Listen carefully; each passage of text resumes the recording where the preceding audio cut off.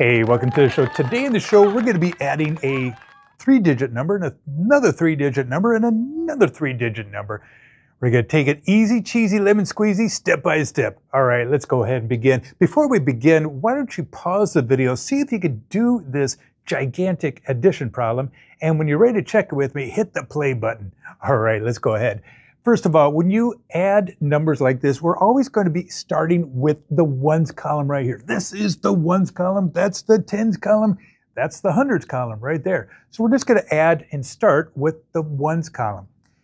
And then I try to pick out numbers that might be easy for me to add. So I could take, you see here, 9 plus 3 would be 12, and then 12 and 7 would be 19, or 7 plus 3 equals 10, and 10 plus 9, 19 whatever you like. Sometimes you have some favorites, but uh, it all comes out to the, you know, to be the same answer. We're going to put 19 right here. So I put 19, I put the 9 right there, and I'm going to carry that 1, put it right up into the tens place.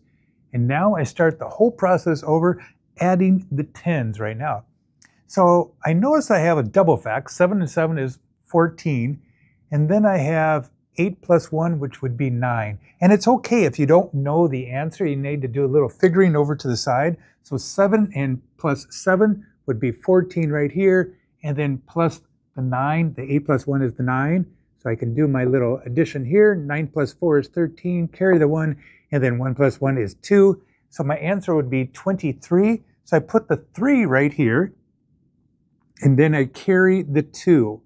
And again, I'm just going to start the whole process over and then add the hundreds.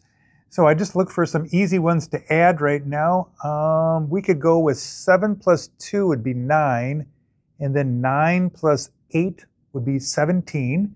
I'm going to put 17 right here, and then plus 5. And you might have done it a different way, and that's okay. Then 7, 8, 9, 10, 11, 12, and then carry the one, which would be 22. So I'm going to write 22 right here. And there is my answer. Now, again, when we're doing that, I think it's a good idea to keep some scratch paper on the side right here. You know, if you're taking tests or you're going to be, you know, doing an assignment, do some, um, you know, little figuring off to the side there um, to get your answer. And again, another strategy is look for numbers that you just like adding together. Try to make that 10 or a double fact.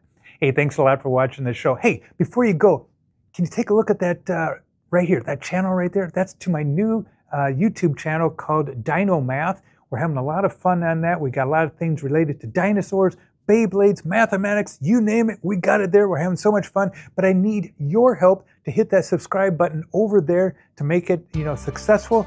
And also, if you can hit the subscribe button to this channel too. Hope you're having a great day out there. We'll talk to you later. Adios. Goodbye.